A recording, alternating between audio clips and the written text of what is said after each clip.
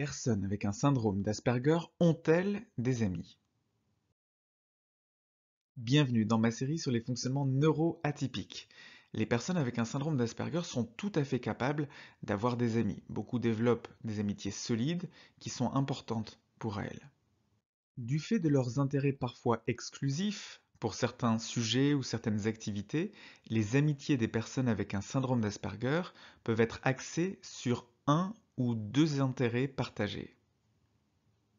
Une autre caractéristique des amitiés des personnes Asperger, c'est la communication directe. Leurs amitiés peuvent être caractérisées par un style de communication directe, sans sous-entendu, et avec peu de communication non verbale.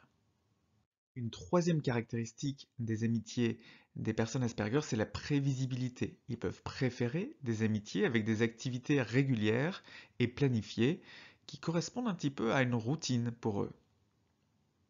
Quatrième caractéristique des amitiés des personnes Asperger, la sensibilité sensorielle. Ils peuvent préférer des amis qui tiennent compte de leur hypersensibilité sensorielle, par exemple des amis qui ne sont pas trop bruyants, qui ne parlent pas trop fort, et qui de façon générale ne les mettent pas dans des situations où sensoriellement ce serait inconfortable.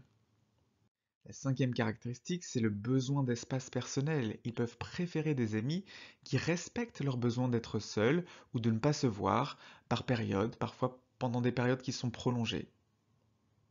Vous reconnaissez-vous ou reconnaissez-vous un proche? Partagez votre expérience dans les commentaires. Et pour découvrir si vous avez un syndrome d'Asperger, la première étape, c'est le test de dépistage du syndrome d'Asperger en ligne. Vous le trouverez dans la description. Il est ce premier pas pour découvrir enfin qui vous êtes. À demain pour une nouvelle vidéo à 17h30.